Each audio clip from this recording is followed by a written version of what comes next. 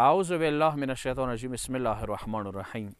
اسلام کې یو بهترین شای چې ډیر اهمیت ته ملاو دی هغه اذان دی حتی روایت حدیث دی پیغمبر کریم صلی الله علیه و آله څخه درې شی نه دي که ایمو امت دی هغه ثواب دی هغه اجر نه خبر شي د سرج به ور باندې جوړ شي چې يو يې چې زۀ کوم بل يې چې زۀ کوم خبره به غوري ته وځي هغو نه يو اذان اول صاف او جمعه المنځه اول صاف جامع المنځه اول صاف جمعه المنځه اول صاف دا درې شي نه دي او کې اذان دی یو شای چې موږ سو چې ای بیا ګڼو هغه یې موږ کلو کې کیسټ والا ځون دی په کور دا دی چې مو دي شي په ځای اخلي ځون ته ډیر اهمیت ورکړو چې دوره ثواب دی چې رج به جوړ شي چې یو ځکه هم ثواب واچي نه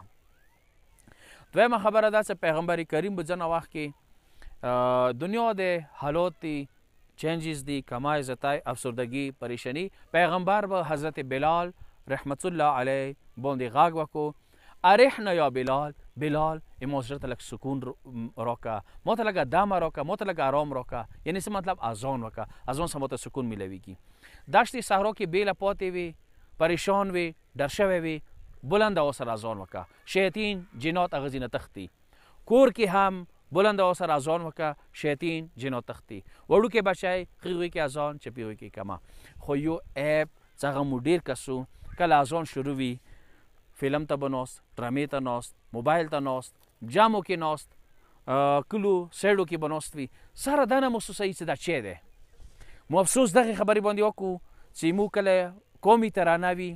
کاغه سکولونو کې دي کاغه یونیورسټیو کې دي کاغه ادارو کې وي اټوله د قومي ترانه احترام ته پر پچیږي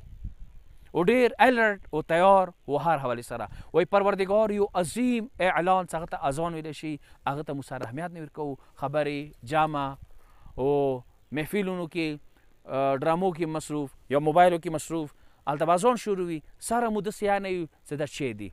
سوال کوو چې اذان ته ډېر اهمیت ورکوي کیسټ اذان په ځای خولې اذان او اذان ټایم باندې خاموشي اذان ټایم باندې مستحبه ده چې کوم هغه ذکر کېږي هغه تاسو کوه مثلا سرور الله اکبر تاسو وایه اشهد ان لا اله الا الله اشهد ان محمد رسول الله اشهد ان علي ولي الله دا ته ټول وسره وایه لا اله الا الله وسره وایه